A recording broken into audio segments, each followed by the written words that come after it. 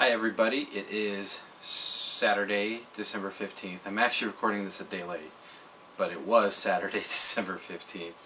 Uh, had a exciting day uh, today, or Saturday. I got to see, uh, had my second appointment. Um, it was my second evaluation for the surgery, so this one was actually with the surgeon, and uh, it was at 2 o'clock in the afternoon.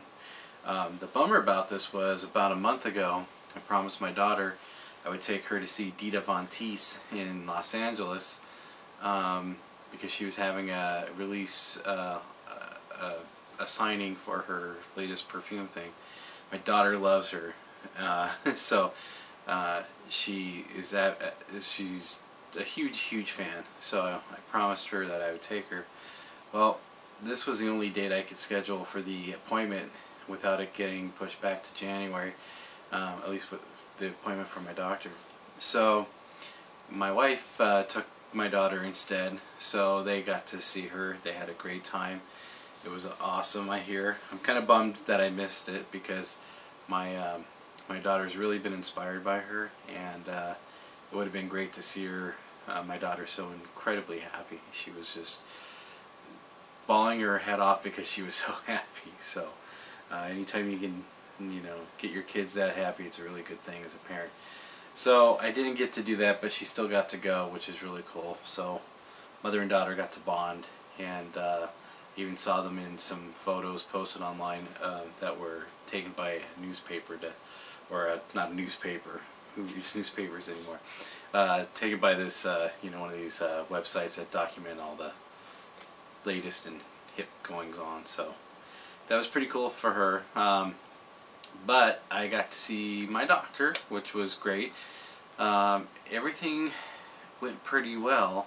Uh, the the biggest curveball uh, is that in the uh, ultrasound, turns out I have a gallstone, and uh, it's a big one, and they're gonna want to. They're recommending to take out the gallbladder when when they are in there to do the surgery.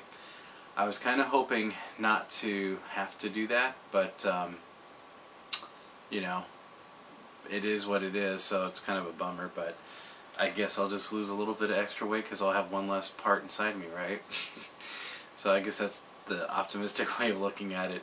Uh, my family history has, uh, I have two brothers, no, one brother, one sister, and my mom uh, had, they, they all had their gallbladder removed, so we just were not really and my brother was in good shape you know he was not overweight or anything.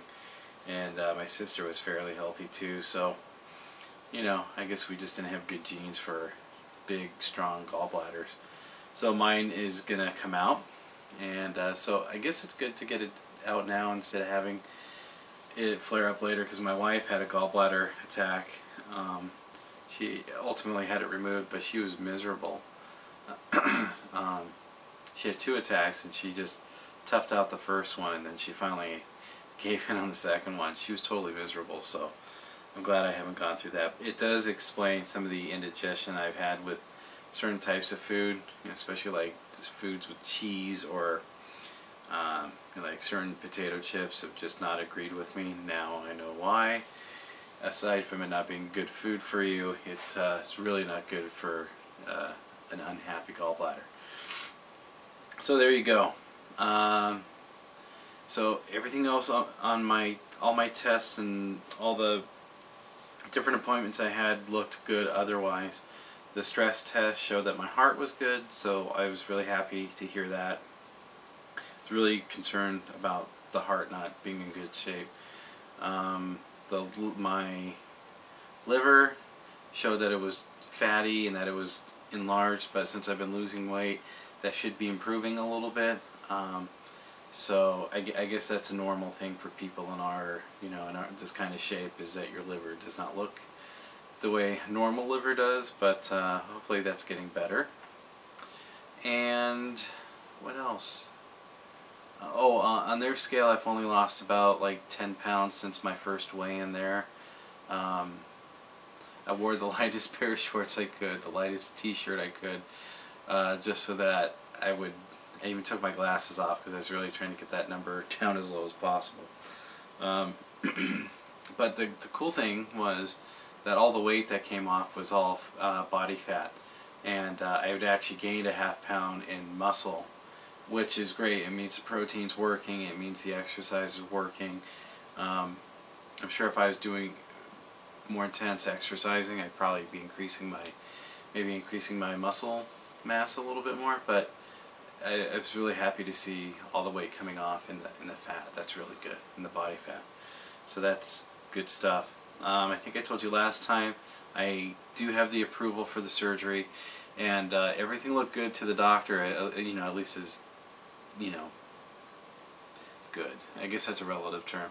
As far as surgery goes, everything looks good for surgery, so tomorrow morning I should get an idea when the surgery is going to be. It's going to be sometime, could be December 26th, to December 29th or 30th, or maybe sooner if they have an opening sooner, but he, to quote the doctor, uh, I'm on the launching pad, I'm ready to go. So we'll just find out what the date's going to be, and uh, so it'll be happening sooner than later. Um, which is uh, it's great. It's a little scary, but it, it's uh, it's good. I'm anxious to get this going. Um, I've been doing a lot of work towards it, so it's just kind of you know as you get closer and closer to it actually happening, it's you know it's nice seeing all of the the effort and the work kind of coming together to to see it start to happen. So that's good. Looking forward to that. I'm very very psyched up and very pumped up very excited, very positive. I know yesterday, the other video, I was just kind of down. Um, I think everyone was that day, but life's too freaking short. Got to be happy. So, um, yeah, good things happening. So I'm just gonna be continue to be very positive, and hopefully that spreads to other people. But uh, you know, thinking positive is it's more than half the battle. Because if you think negative, negative things are to happen. So you got to think positive, be positive and uh, the more you talk about positive things happen, you'll just start doing whatever you need to do to make those positive things happen. Just like if you talk about negative things happen or things not going your way or what the bad things could be, you know, you'll you'll make it come true either way. So you create your own reality. I'm I'm creating mine, and mine's going to be uh, successful. It's going to work out. I'm going to succeed at this. So. Um, it, it all starts with positivity. You can go this way, you can go that way. It's it's all up to you. Um, it's a choice. it's totally a choice. So that's it. Approved, ready to go. I'll find out tomorrow or Sunday.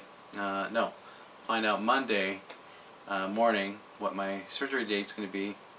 Um, and that's it. So that's my Saturday. We didn't walk Thursday night because of the rain. Um, and I got this cool new app on my phone to help uh, uh, track our walking, which is pretty cool. Um, so I'll share that with you next time. And that's it. I can't think of any anything else. It's a great day, good, great day for the family, and uh, I'm very, very stoked, very happy. So there you go. See you guys tomorrow, and hope you're having a great weekend. Bye.